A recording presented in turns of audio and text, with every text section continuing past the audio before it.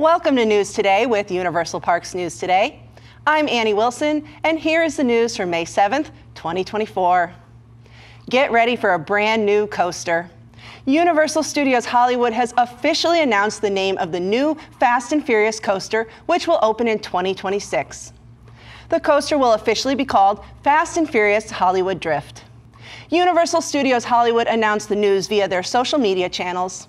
In the announcement, Universal shared the following Prepare for high speed thrills. Fast and Furious Hollywood Drift arrives at Universal Studios Hollywood in 2026.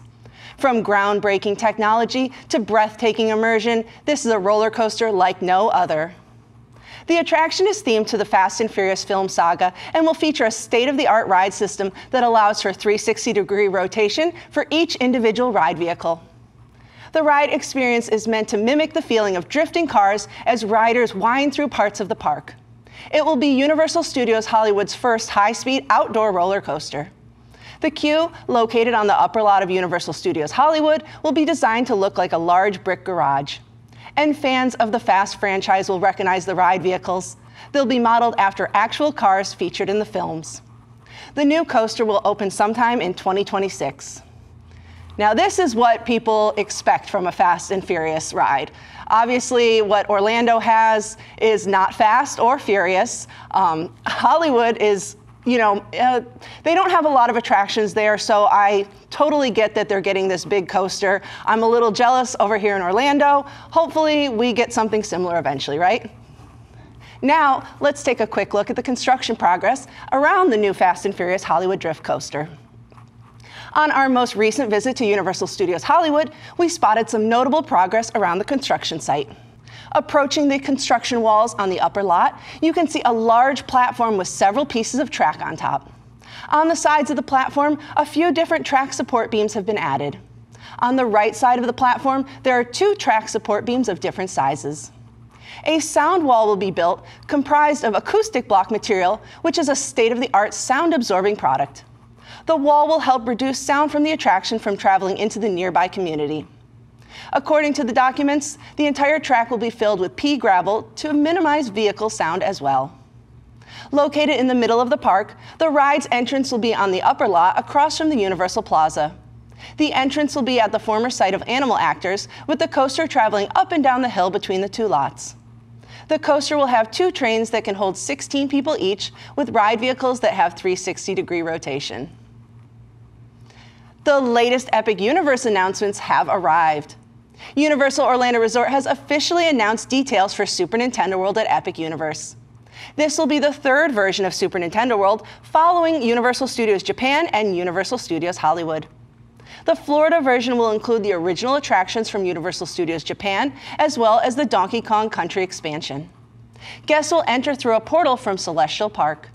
This is a decked out version of the green warp pipe entrance at Universal Studios Hollywood and Universal Studios Japan, in keeping with the Epic Universe portal theming. Also unique to this entrance is that guests will take an escalator up to the land. The main attraction of Super Nintendo World at Epic Universe will be Mario Kart Bowser's Challenge. It will be located in the section of the land entitled Super Mario Land. Guests will wind their way through Bowser's Castle and join Team Mario on the racetrack to defeat Team Bowser in this interactive ride inspired by the beloved game series. Just like the game, riders will collect coins, throw shells, and drive through courses underwater and in the clouds. This attraction utilizes special AR goggles to bring the world and their fellow racers to life. Guests simply need to look at their target and press the button on the steering to toss a shell. Orlando will host the first Yoshi's Adventure attraction in North America. On this family focused ride, you'll hop onto a Yoshi and embark on a search for glowing eggs. On Minecart Madness, the Tiki Tak tribe has come to steal the golden banana. To protect it, guests will join Donkey Kong and his friends on a high energy minecart ride. This roller coaster uses an all new ride system developed in house by Universal Creative that recreates the maneuvers of the minecarts from the Donkey Kong Country video game series. In addition to the area's main attraction, a selection of tropical menu and merchandise offerings will also be available in Donkey Kong Country.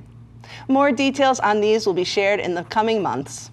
The key challenges of Super Nintendo World completed using power up bands are essentially a self guided attraction. At these interactive experiences throughout the land, guests will test their quickness, skills, and timing in various challenges, which include Thwomp Panel Panic, Goomba Crazy Crank, Piranha Plant Nap Mishap, Koopa Troopa Power Punch, and the Bob-omb Kaboom Room, which is the first in North America. For each challenge guests win, they will receive a digital key. After collecting three keys with a power up band, guests can take on the Bowser Jr. Shadow Showdown, where they'll face off with Bowser Jr. to win back the Golden Mushroom. In the Super Mario Land section, guests will be able to meet Super Mario characters, including Mario, Luigi, Princess Peach, and Toad. Guests who have a power up band will get an enhanced experience when meeting those characters. At Toadstool Cafe, guests can enjoy dishes inspired by the world of Super Mario and its characters. Dishes will include Mario and Luigi themed burgers, super mushroom soup, piranha plant caprese, fire flower spaghetti and meatballs, and more. Guests will also get to see several Toads and Chef Toad himself cooking up their meals in the kitchen through virtual windows throughout the restaurant. Yoshi Snack Island and Turbo Boost Treats are walk up dining locations where guests can grab treats, snacks, and beverages to fuel up as they play. At the One Up Factory and Mario Motors, guests can shop for Super Nintendo World souvenirs, apparel, toys, and more inspired by their favorite Super Mario characters. Epic Universe will open in 2025. Another version of Super Nintendo World is also under construction at Universal Studios Singapore. Universal Orlando Resort has also revealed the height requirements for the attractions that will be part of Super Nintendo World at Epic Universe. Mario Kart Bowser's Challenge is a 3D, 4D experience with motion simulation. The minimum height requirement is 42 inches or 107 centimeters. Yoshi's Adventure is a kid friendly attraction that will take guests of all ages on a winding and weaving trip through the Mushroom Kingdom. The minimum height requirement is 36 inches or 92 centimeters. Minecart Madness is a thrill attraction where guests will join Donkey Kong to protect the Golden Banana. The minimum height requirement for this attraction is the same as Yoshi's Adventure 36 inches or 92 centimeters. This program is brought to you by our official travel agent sponsor, Be Our Guest Vacations. Your dream vacation begins with Be Our Guest Vacations and their concierge team of expert vacation planners. The best part is their concierge services are 100% free. Head over to beourguestvacations.com slash WDWNT and the team will design your next epic vacation from Universal Parks to Walt Disney World and Disneyland Resorts, Disney Cruise Line, Virgin Voyages, Royal Caribbean, and more. The exclusive Visa Lounge at Universal Studios Florida is now open to select cardholders. The Visa Lounge is located at the front of the park across from guest services. It is exclusive to Universal Rewards Plus Visa Signature cardholders. The entrance can be spotted by its blue and yellow awning. The lounge is open 12 p.m. to 5 p.m. every day. Once inside, the first thing we noticed was how cold the air conditioning was, perfect for a break during a summer day at Universal Orlando. At the entrance, guests will be met with a team member. Each cardholder can bring three additional guests with them into the lounge. The design overall is clean and modern. The seating areas are all nicely separated so that different parties can take up their own sections. A high countertop is tucked into a nook with both regular outlets and USB outlets, perfect if you have to get some work done. Along the back wall is a television and a refreshment area with two mini refrigerators stocked with complimentary water bottles and snacks. Guests with their own reusable water bottles also have the option to fill up using the water refill station. The Visa Lounge also has its own family restroom. The primary Universal theming in the Visa Lounge comes by the way of black and white photographs of Universal attractions past and present. This first one is the Hollywood backlot set. We also have photos for Captain Jake's Amity Boat Tours, Jimmy Neutron's Nicktoon Blast, Monsters Cafe, and the Institute of Future Technology marquee from Back to the Future The Ride. The Visa Lounge is exclusive for those with the Universal Visa Signature Plus card, which is the card with the annual fee. If you're considering applying for the card, you can do it in the parks.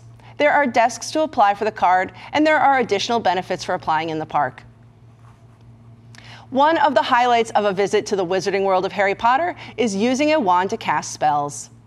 This magical experience allows wizards, witches, and even muggles to try their hand at magic at the Universal Orlando Resort. Rumors suggest that new interactive wands will debut ahead of Epic Universe and new spells will be added around the current parks. Over the last few months, we've noticed changes around the different spell locations that indicate this rumor could be true. The spells around Diagon Alley and Hogsmeade have been getting upgraded cameras over the last few months. Whenever a spell was having a new infrared camera installed, the window would have a sign or it would be blocked by construction walls.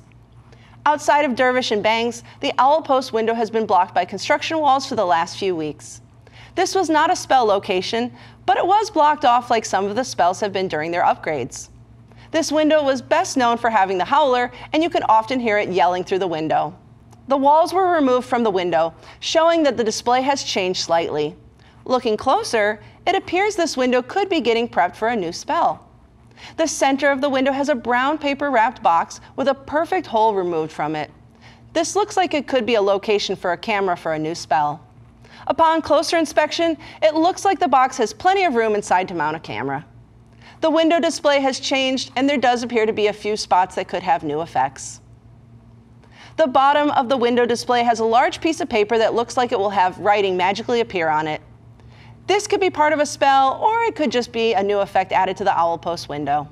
The camera upgrades will greatly improve guests' ability to cast spells, but there are rumors that there are other reasons for the change. New wands that can connect to the Universal Orlando app are rumored to roll out sometime before Epic Universe opens next year. Universal has connected gameplay for Illumination, VillainCon Minion Blast, and guests can sync their blaster to their profile on the Universal Orlando app. Guests of Super Nintendo World can link a power-up band to the app to collect coins and track their progress. These new interactive wands could likely be similar to power-up bands and allow guests to link to the Universal Orlando app. The new wands could be used to track guest progress with spells and allow them to unlock new features. Old wands would still work with the spells, but would not allow guests to connect and access new features within the resort app new wands would be required to track progress through the Universal Connected Gameplay feature. Universal Orlando was greatly discounting interactive wands during the garage sale last year. Interactive wands were being sold at 70% off. Now, Universal Orlando is offering a free interactive wand with the purchase of a $300 merchandise gift card. Universal Orlando may be slowly getting rid of the current stock of Wizarding World wands in anticipation of rolling out a new series of wands in the future.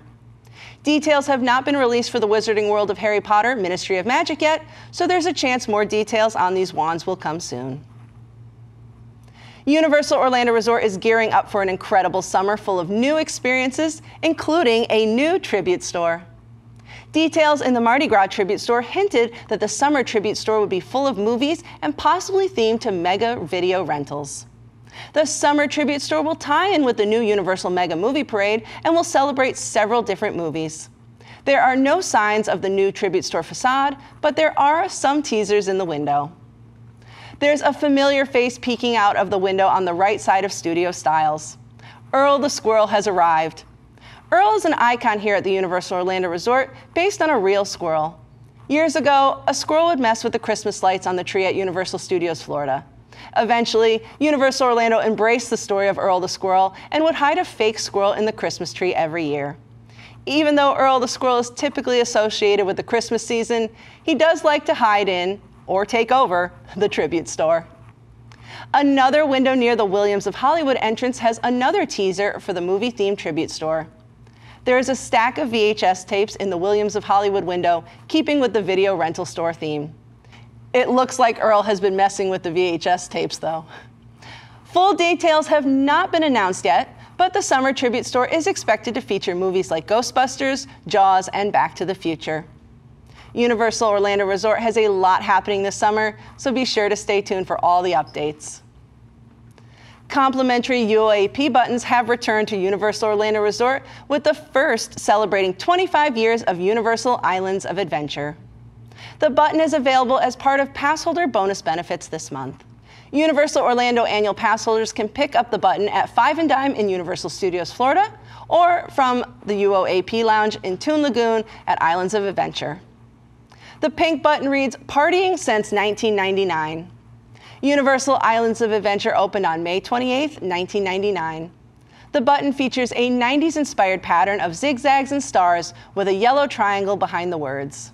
The pin comes on a pink UOAP card with a happy 25th birthday Universal Islands of Adventure message on the back. Along with the button, pass holders can enjoy other benefits like an exclusive park entrance at Islands of Adventure now through May 24th. Universal Orlando Resort is now accepting auditions from the general public for Halloween Horror Nights 33. The audition posting is for scare actors, stilt walkers, and puppeteers. The submission deadline is midnight on May 31st, 2024. Interested candidates must have full availability for HHN 33 dates. The posting doesn't list rehearsal dates, but the internal auditions posting stated rehearsals would be between August 1st and the 29th. Halloween Horror Nights opening night is August 30th and will run through November 3rd. You can support the entire team behind this show and others by joining the WDWNT Inner Globe Society at patreon.com slash WDWNT. Get access to exclusive content, discounted show and event tickets, and more. A special shout out to all the WIGS members watching who make this show happen every week. For more information on these stories and more, head on over to universalparksnewstoday.com. If you're enjoying the show, be sure to like this video, subscribe to Universal Parks News Today on YouTube for more great content, click the bell for notifications, and make sure to hit select all notifications so you never miss an episode of News Today with Universal Parks News Today. For UPNT, this is Annie Wilson saying, the future is whatever you make it, so make it a good one.